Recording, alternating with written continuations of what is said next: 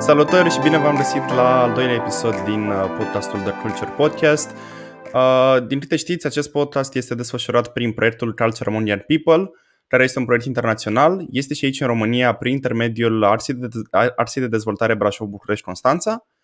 Și, în mod evident, uh, abordând subiecte de cultură, știm cu toții că teatrul este o piesă nemaipomenit de importantă de cultură Astfel, în acest episod o să discutăm despre arta asta, despre arta teatrului și ca să vă povestesc mai multe despre acest subiect, l avem invitat pe domnul Ervin Simpsonson, director al Teatrului de Stat Constanța. Bună ziua, domnule director, și vă mulțumim frumos că ne-ați acceptat invitația.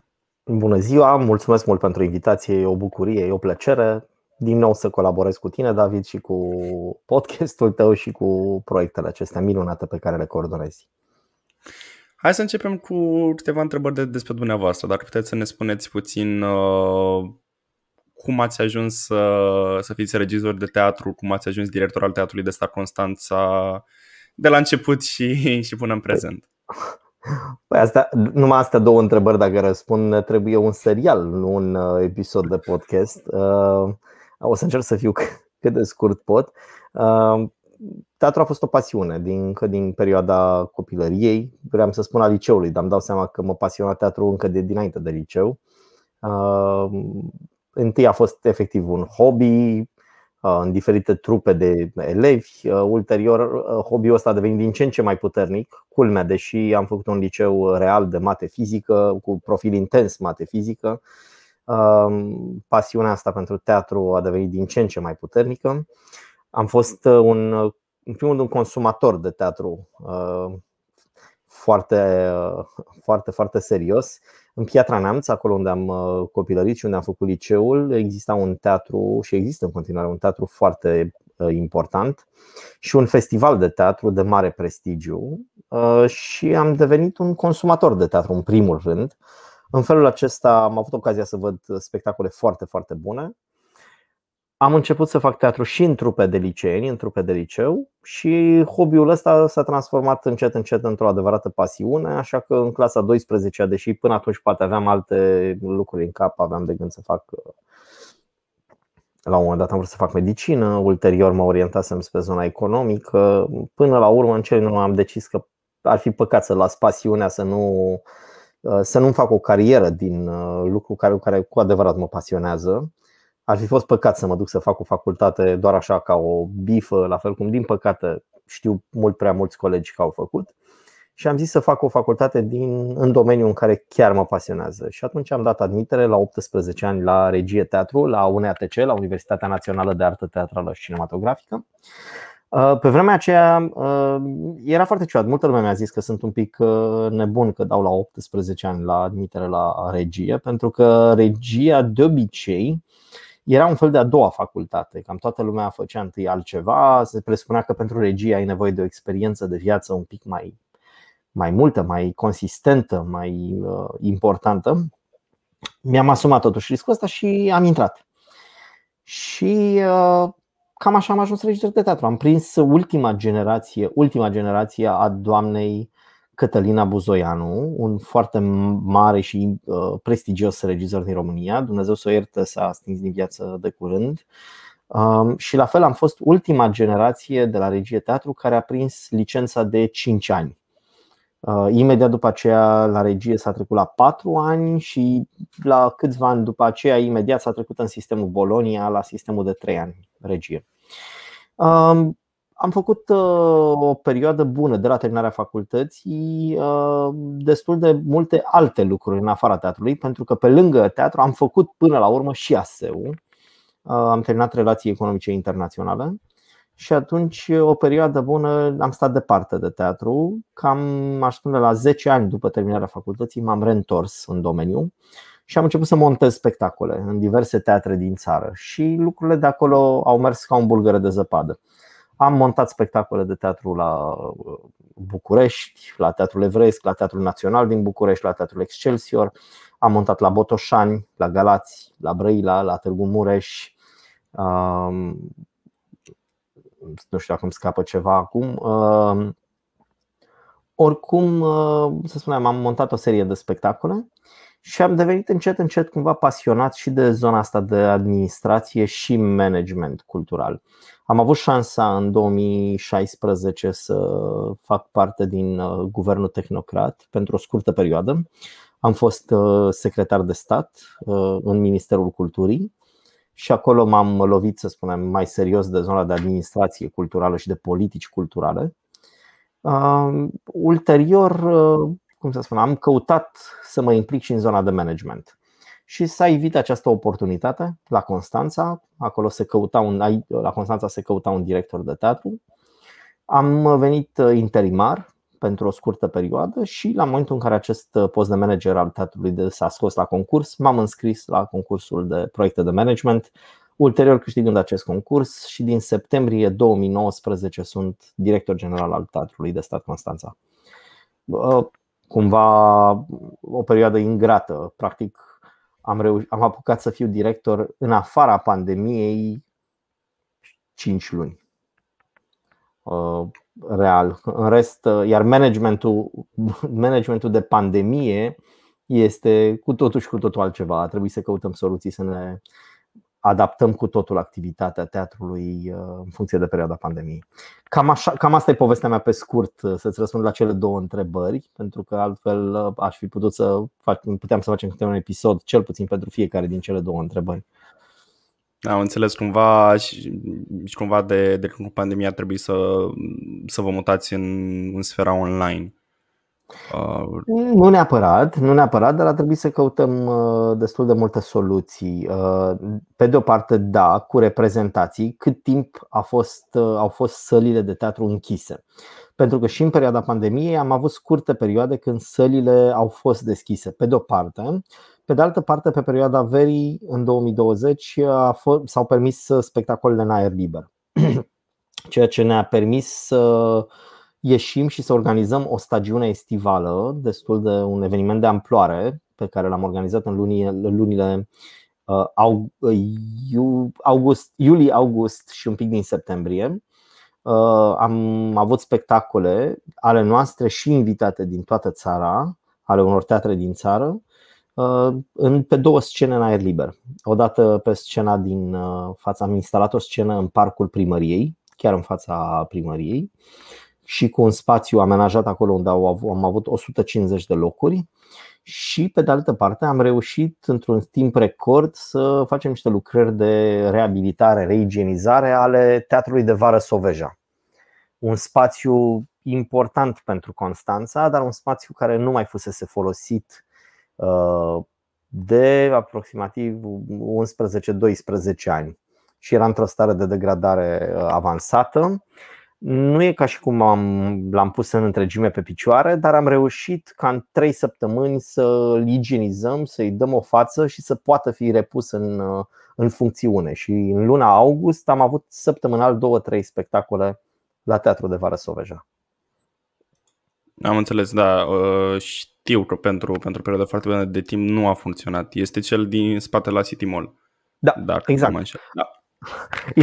Asta e foarte trist pentru că a ajuns ca acest spațiu spațiu, să spunem, cultural, foarte important pentru oraș, care are o istorie, să fie identificat că ăla din spatele la City Mall Cumva City Mall a fost construit acolo în fața lui și De a, fapt, blocat da. în întregime, a blocat în întregime accesul la teatru și din acest motiv cumva el s-a și șters un pic din uh, mentalul colectiv al constanțenilor Uh, mai ales că nici nu a fost folosit.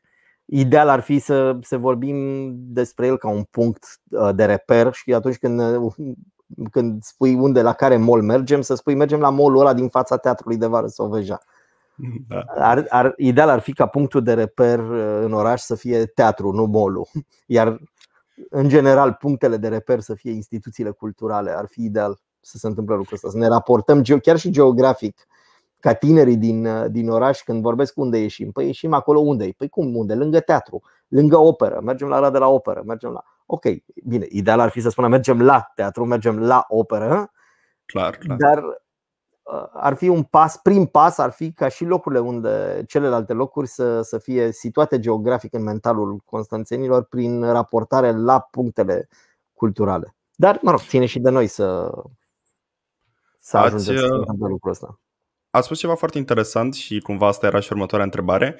Ați vorbit despre tineri și că ideal ar fi să, să spunem mergem la operă și mergem la teatru. Și aș vrea să vă întreb uh, cum vedeți dumneavoastră, cum am putea să apropiem mai mult tinerii de, uh, de cultura la nivel general, cât mai specific de, de teatru? Cum îi facem pe tineri să meargă la teatru, să meargă la operă? Sunt, uh, sunt mai multe. În primul rând, cred că trebuie să fie un efort uh, colectiv, un efort din partea tuturor uh, factorilor. Pe de o parte, uh, ține și de familie, odată, pe de altă parte, ține de școală. Uh, cred foarte mult că școala are un rol foarte important în a-i, uh, a obișnui pe elevi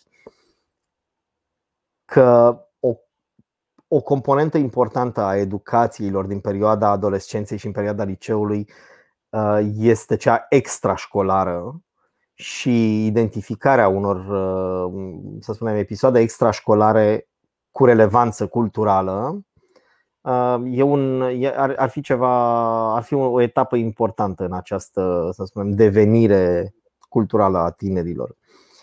Bineînțeles, punctul cel mai important îl, îl avem noi, noi mă refer la instituțiile de cultură, care trebuie să cumva să înțelegem care sunt nevoile, care sunt așteptările, care sunt dorințele, care sunt speranțele, care sunt uh, aspirațiile tinerilor din ziua de astăzi și să încercăm să construim programe culturale în, în, în, să spunem, în siajul acestor uh, așteptări și acestor speranțe.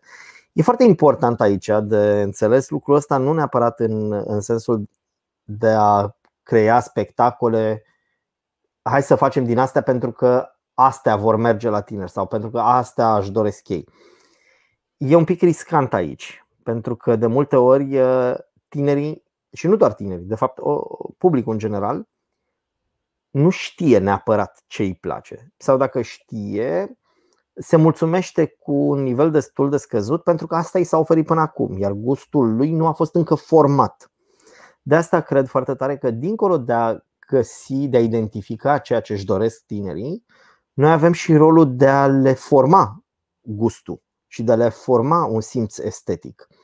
Și de asta cred că e important ca spectacolele să vină pe de o parte în, să trebuie gândite să fie cât mai interesante și atractive, dar fără, fără a face compromisuri de niciun fel la nivel estetic. Și din potrivă, chiar dacă sunt spectacole care au o anumită estetică sau o anumită miză care s-ar putea să-i sperie la un moment dat pe tineri, s-ar putea să-i țină deoparte în primă instanță, e posibil ca la nivel, sub, la nivel subconștientului să-i provoace. Să, dar, dar aici, abia aici intervine, intervin și ceilalți factori. Dacă alături de noi sunt și profesorii, iar profesorii sunt suficient de open-minded, sunt suficient de deschiși să înțeleagă ce înseamnă anumite spectacole, Că, bineînțeles, dacă ne ciocnim de o anumită mentalitate ultraconservatoare, riscăm să facem uh, un pas înainte, doi înapoi în dezvoltarea acestor gusturi. Dar da, eu cred că e greu, cred că e greu, dar nu imposibil, dar foarte important. Adică pentru mine e o prioritate aducerea tinerilor la teatru și aducerea tinerilor la spectacole bune, la spectacole uh, care să-i provoace, care să-i pună să gândească, care să-i facă curioși, să-i determine să caute, să cerceteze, să, să-i, să-i revolte, să stârnească în ei ceva. Dacă, dacă reușim lucrul acesta, e, e un punct câștigat. Adică dacă tinerul vine la teatru și pleacă exact ca și cum ar fi venit la un film cu. La, s-a văzut Titanicul sau altă, un alt film drăguț, o comedie romantică așa, și a venit cum a plecat. Nu e o miză, nu e o miză reală. Miza este să fie tinerii provocați, să, îi, să, să stârnim dezbateri. Știu că ești pasionat de, de conceptul de dezbateri David, dar uh, da, cred că spectacolele trebuie să stârnească dezbateri, trebuie să stârnească discuții, trebuie să-i pună să gândească. Și, uh, și da, din nou, nu trebuie să, ne, să mergem doar pe ideea ce le place, ci trebuie să căutăm noi, să căutăm să le oferim cât mai multe lucruri. și să le dezvoltăm, de fapt, dorința de a veni și să-i facem pe ei să ne caute. Am înțeles și cum, cumva după ce ies, după ce ies de pe, de pe ușa teatrului să, să stea afară și să vă, sau, sau nu neapărat să stea afară, dar să, să discute ce părere ai avut despre scena aici sau cum ți-a părut atitudinea personajului Idre când mai mult decât atât, despre cu... teme, despre da, și asta, de ce nu? Ar fi minunat. Ar fi minunat să înceapă să aibă opinii și din punct de vedere estetic. Ce spui tu este de estetic. Cum ți s-a părut decorul, cum ți s-a părut uh, viziunea regizorală, astea. Astea sunt niște, deja sunt, uh, cum să spun, niște puncte de vedere legate de estetica spectacolului. Dar eu mă refer în principal legate de, să spunem, problemele etice legate de, legate de uh, ridicate de un anumit spectacol. O dezbatere principială mai mult. Absolut. Uh, eu cred că ar fi foarte important. Încă n-am făcut lucrul ăsta din nou pentru că n-am avut timp. A venit pandemia peste noi și ne-a blocat toate ideile. Dar sunt, uh, avem spectacole în repertoriu care pot crea premizele, pot reprezenta premizele unor dezbateri, unor discuții foarte, foarte puternice cu tinerii. Dar din nou, avem nevoie alături de noi, trebuie neapărat să găsim, să identificăm niște profesori cool, niște profesori uh, care să fie interesați să gestioneze niște spectacole mai dificile, niște spectacole care ridică probleme destul de dure și destul de grave, legate de ori de lucruri care acum încă sunt profesori care se sperie de ele. Dar sunt probleme, adică în contextul în care uh, România este pe locul întâi în Europa la număr de sarcini nedorite în rândul adolescentelor de până în 16 ani.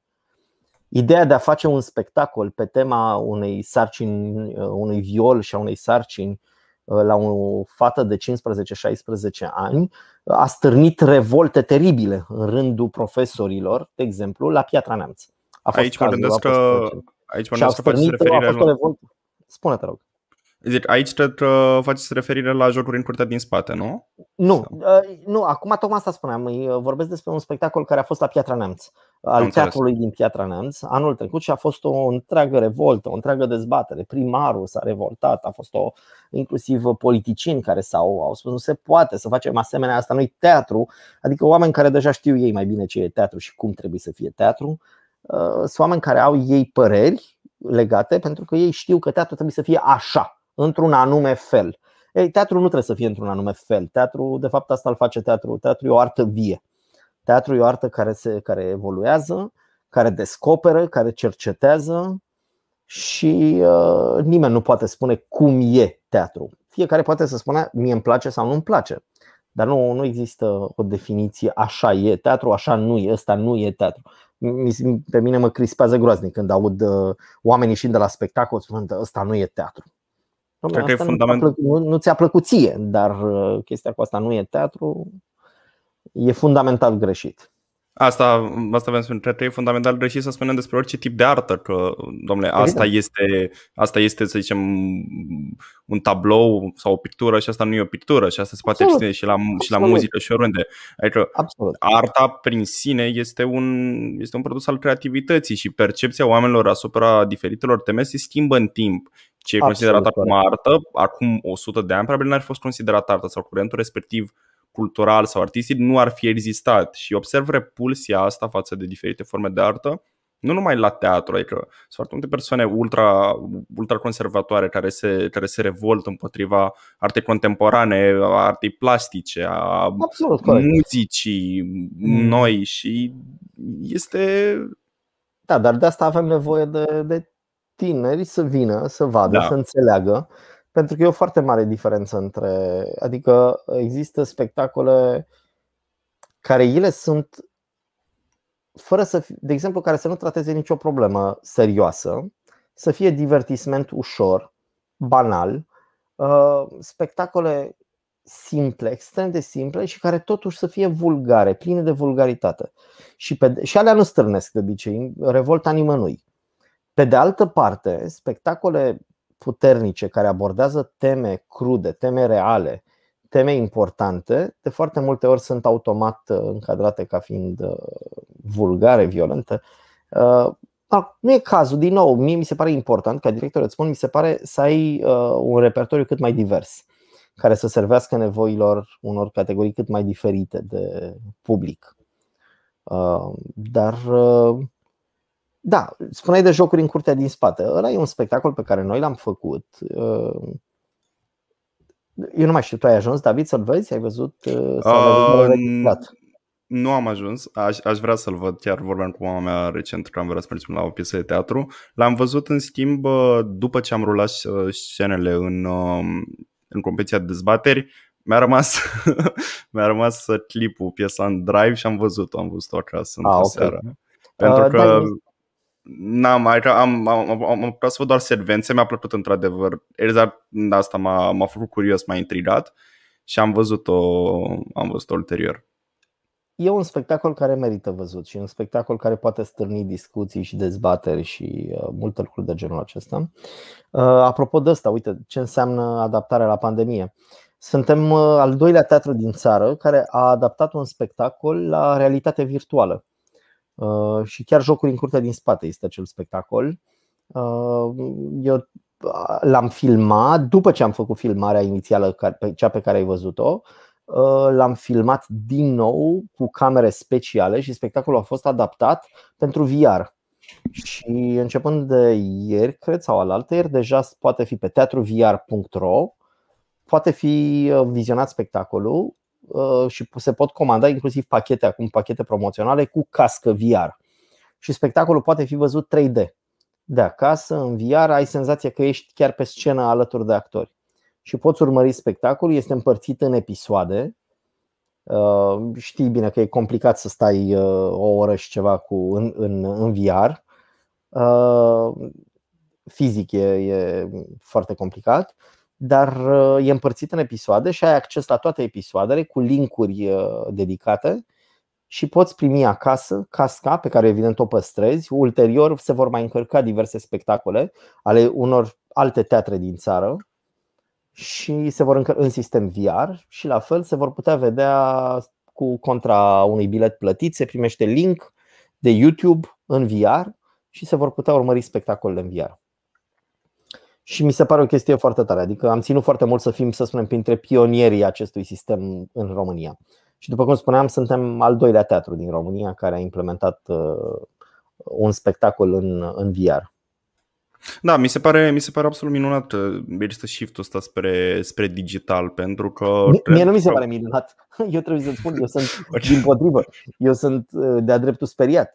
Uh, eu sunt absolut un, să spunem, un adept fervent al teatrului ca artă foarte vie, neintermediată de ecranul calculatorului, de ecranul televizorului, de casca VR.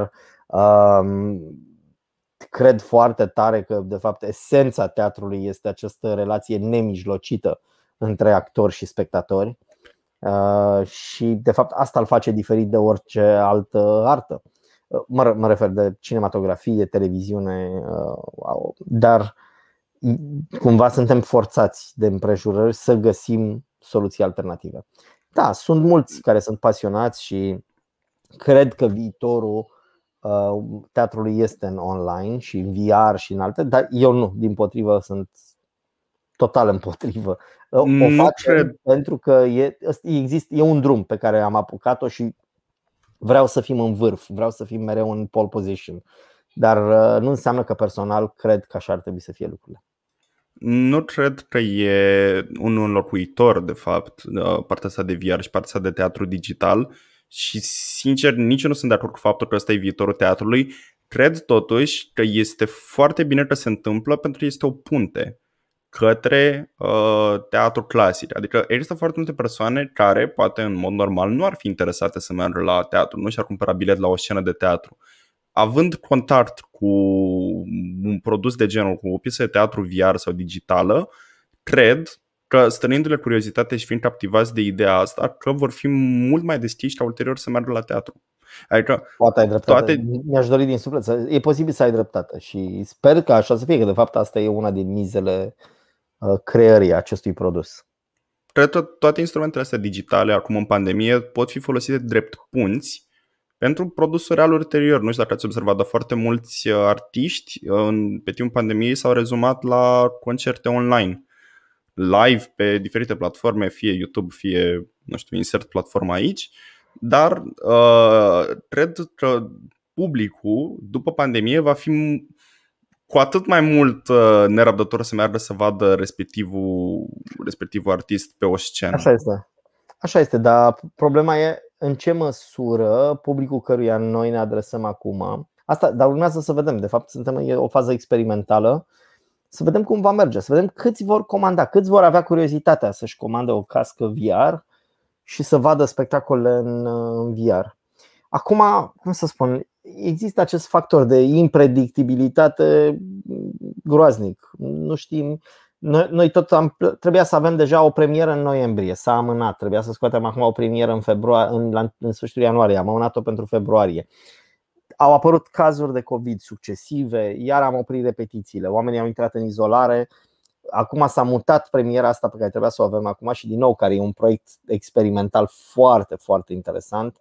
Um, spectacolul se, care va, acum am amânat premiera pentru sfârșitul lui martie, uh, se va numi Ziua Z și este un text scris original acum de un dramaturg uh, tânăr român pentru, constant, pentru teatrul nostru, adică e un text scris dedicat pentru teatru uh, de stat Constanța și legat de o poveste fictivă, e adevărat, e ficțiune, dar inspirat uh, foarte, foarte mult din viața reală și de ce înseamnă societatea contemporană românească.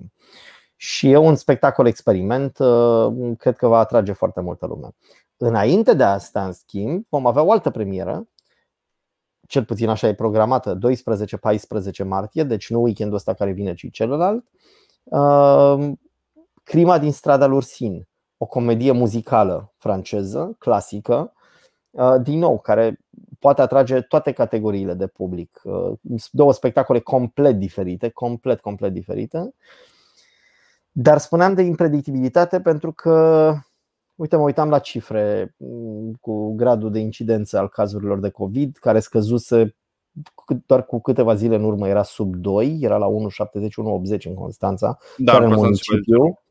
Da, astăzi e deja, ieri era la 2,40 ceva, azi e la 2,60 ceea ce mă sperie groaznic, că e foarte posibil într-o săptămână să ne trezim că iar se închid.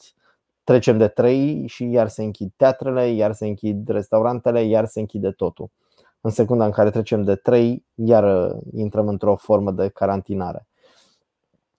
Și e foarte complicat. Nu pot să, e foarte greu de programat, e foarte greu de făcut programarea spectacolelor, repetițiilor, reprezentațiilor și trebuie să ne adaptăm de la, de la, de la o zi la alta. Da, am o speranță totuși pentru am o speranță totuși pentru vara acestui an, deci foarte, mulți, foarte multe persoane spun că e compromisă. Știu, știu că despre de pe 15 martie se deschid uh, listele de vaccinare pentru grupa a treia de persoane, cele în afara cazurilor de risc, comorbidități și așa mai departe. Și de asta dar, din păcate, da, și, și eu cred că e destul de compromisă vara asta. Apari... Nu, nu sunt foarte optimist. Apariția atât de multor, atât de multe tulpini diferite la, la acest virus cumva frânează destul de mult din uh, reușita uh, vaccinării tot e important, e important că se întâmplă, se simte o diferență în țările unde deja nivelul de uh, procentul populației care a trecut deja prin vaccinare uh, este foarte mare, deja acolo gradul de infectare a scăzut foarte, foarte mult, deci este evident demonstrat efectul uh, benefic al vaccinului. Dar să vedem dacă vor reuși ai noștri să pună în, în aplicare un mecanism cât mai eficient de vaccinarea populației în masă. Sperăm, într-adevăr, pentru că altfel riscăm ca, na, deja fiind o țară cu un grad de cultură scăzut, riscăm să. Da, eu, eu sper totuși, apropo de Constanța, ca acest grad de cultură să crească. Sper din suflet, pentru că Uh, dar el poate crește doar printr-un efort conjugat al tuturor, repet, și inclusiv al, al vostru, al celor care astăzi cred că sunteți lideri ai uh, tinerilor. Uh, voi, cei care, cum să spun, v-ați detașat ca să spunem, antreprenori sociali în domeniul, în, în, în lumea asta a tinerilor, a liceenilor, a studenților, cei care conduceți ONG-uri și uh, coordonați proiecte importante. Mi se pare fabulos ce faceți, mi se pare că este miza e foarte, foarte mare, v-ați luat niște sarcini foarte grele, dar e impactul pe care voi puteți să-l aveți este extraordinar. Și noi, ca instituții, avem nevoie de parteneriate cu voi, avem nevoie de sprijinul vostru. Pentru că voi aveți puterea de a-i muta pe, pe your peers, pe colegii voștri, pe prietenii voștri, aveți uh, probabil carisma și șansa și posibilitatea de a-i, uh, de a-i schimba mult mai mult decât o avem noi. De asta cred că e foarte important ca și voi să înțelegeți responsabilitatea pe care o aveți. Um, cred că e drum lung în Constanța. E nevoie de. Este. de, de e drum lung. Idei de proiecte avem. Trebuie doar acum să avem puterea și energia să le punem în aplicare împreună. Pe de altă parte și noi, ONG-urile și structurile de tineret, avem nevoie de parteneri instituționali ca să putem să, ca să avem unde să mutăm tinerii. Și e clar că este, este nevoie de mobilizare în masă, astfel încât să, să rezolvăm problema asta. Adică știu că foarte mulți tineri, și de fapt asta n-a revenit puțin la întrebarea de, de mai devreme cu cum aducem tinerii mai ușor la teatru, Cred că foarte mulți tineri privesc teatru ca fiind uh, chestia asta, care se duc doar uh, persoanele de vârstă mijlocie, persoane de, de vârste mai înaintate și o concepție când au fost ultima oară la teatru? Cei care gândesc așa, când au fost ultima oară la teatru, if ever? Posibil să nu fi fost deloc, cred că de acolo și concepția asta greșită. Okay. Dar sunt, sunt, sunt, sunt Aici, de persoane vezi, comode. Acest, e ca din marketing. Până, până ia prima înghițitură și contează foarte mult cât de bună e prima înghițitură. Că dacă te chinui trei ani să pui gura pe ceva și la prima înghițitură e groaznic, mai trec trei ani până ia a doua înghițitură, până te convinge cineva. De asta responsabilitatea noastră e foarte mare, să avem foarte mare grijă la ce îi chemăm, la ce îi invităm, ca să nu îi speriem și să nu îi ținem departe de, de teatru. Uh, dar, ok, să știi că mi-ai, mi-ai, mi-ai dat destul de multe idei și gânduri acum în ce putem face împreună. Pe de altă parte, credeți că există și un mult prea mare încercare a oamenilor să facă totul politic corect? Adică știu că cred că în ultima piesă de teatru la care am fost înainte, înainte de pandemie a fost uh, și din un om a rămas doar 10. Și, uh, și din 10 n-a mai rămas niciunul, pardon. Uh, adaptare după 10 neglimitite de Agatha Christie. Cred că s-a jucat la Casa de Cultură, dacă mi-aduc eu bine aminte. Da. Sigur, nu, e sigur nu la teatru. E un, sunt aceste spectacole care vin invitate din București. Da, da, da. da, da. Ok. Și, și știu că fusese o discuție foarte amplă legat de, de titlul cărții uh, cât și de titlul piesei, faptul că ar, ar fi o uh, ar avea un sens peiorativ pentru anumite minorități și asta în sine, adică e, e o piesă strisă acum mult timp, adică nu cred că mai are rost să mai discutăm prea mult despre politicii corne- Aici e foarte, e, e foarte complicat și mi-ar fi foarte greu să E o dezbatere atât de complicată și atât de, de un borderline e extrem, extrem, extrem de subțire. Eu cred în mare parte că eu nu corectitudinea politică nu are ce să caute în artă. Pe de o parte. Asta nu înseamnă asta nu înseamnă că teatrul nu are și nu ar trebui să aibă miză socială, o miză socială importantă, uh, aceea de a încerca să schimbe lumea și să transforme lumea într-o lume mai bună, să impună repere și criterii și uh, cum să spun și în același timp cred foarte tare că hate speech-ul nu are ce căuta în artă. De asta spun borderline-ul este foarte, foarte subțire. Pentru că sunt unii care spun corectitudinea politică trebuie să fie regulă, nu ai voie să faci teatru în care ataci sub orice formă în care uh, minoritățile de orice gen, minoritățile sexuale, minoritățile etnice, minoritățile de gen, de orice fel. Corectitudinea politică trebuie să fie standardul numărul 1. Sunt alții care spun corectitudinea politică este o plagă care nu face decât să distrugă tot sistemul de valori și de criterii și nu face decât să uh, aplatizeze și să egalizeze totul în societate și este o formă de neomarxism dus la extrem. Asta. Ei, nu cred în extreme. Cred într-adevăr că în artă uh, corectitudinea politică poate să dăuneze și cred că uh, arta a, a, s-a născut și a evoluat provocând și stârnind revolte și atacând și uh, cum, lăsând libertatea oamenilor de a-și exprima punctele de vedere și nu, ai, nu prin cenzură, cred că doar așa putem evolua și putem descoperi și creativitatea poate fi la nivelul ei maxim doar atunci când ai libertatea de a spune ceea ce crezi, ceea ce gândești, cu riscul de a, de a, de a, de a să spunem, jigni sentimentele unuia și altuia, dar trebuie atenție foarte mare când această jignire și când această libertate de a spune ce vrei se transformă în hate speech. Pentru că acolo este punctul unde trebuie trasă linia. Adică nu cred că libertatea de a nu a fi corect politic înseamnă și libertatea de a, de a avea hate speech. E, e, e foarte complicat. Dar trebuie, e o discuție foarte sensibilă. Uite, asta e o temă de debate. Asta da, e, e, e o temă de debate pe care cred că și a avut-o, într-o formulată un pic altfel da. Uh, la concurs, uh, la competiția noastră din ianuarie, dar uh, e o dezbatere foarte, foarte interesantă. Unde trebuie trasă linia între corectitudine politică și hate speech. Dar eu, da, cred, că, eu cred că în acest moment pericolul impunerii corectitudinii politicii în artă, corectitudinii politice, este, este unul foarte mare. Și cred că trebuie să avem grijă să protejăm libertatea de expresie, mai ales în artă.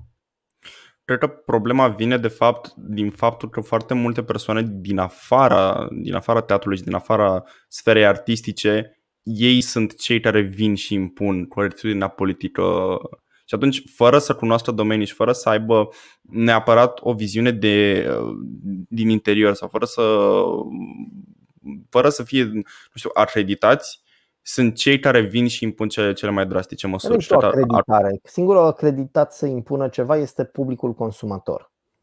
Nu ar trebui să impună nimeni. În artă nu ar trebui să existe niciun fel de altă cenzură decât aceea, cred, unde, unde intervine hate speech-ul. Cred că hate speech-ul trebuie, bineînțeles, și din nou, chiar și hate speech-ul, atenție, trebuie văzut, în, de multe ori face confuzie, când hate speech-ul este de fapt al unui personaj și, și el este caracterizat prin acel hate speech, el nu înseamnă neapărat o legitimare a hate speech-ului. Faptul că un personaj este definit prin hate speech.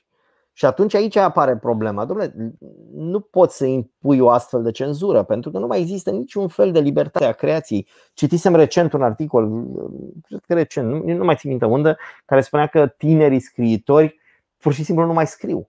Pentru că ori au ajuns să se autocenzureze, există o autocenzură, le e frică să mai producă materiale, pentru că sunt complet limitați de aoleo, nu pot să scriu despre asta, n-am voie să folosesc cuvintele astea, n-am pot să mai spun nimic despre asta, că totul este totul devine mm, o, o greșeală, totul devine și atunci uh, oamenii nu mai au libertatea de a crea în niciun, în niciun fel. Clar. Um, aș vrea să vă întreb și cred că asta este ultima întrebare, având în vedere că timpul, uh, timpul se duce. Um, cum vedeți, adică, uh, stați că e, uh, e n-am mai uh, dubios de prezent, de, nu dubios, e mai, e mai greu de formulat. Um, cum credeți că, că va arăta sfera artistică uh, dacă ar fi mai finanțată? Adică credeți că este nevoie de o finanțare mai mare în, în sectorul de artă, mai ales în sectorul cultural, teatre, muzee și așa mai departe?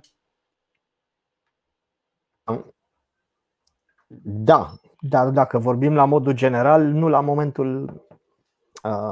Dacă vorbim la, la modul general, categoric, suntem, suntem una din țările cu cel mai mic procent din PIB acordat sectorului cultural.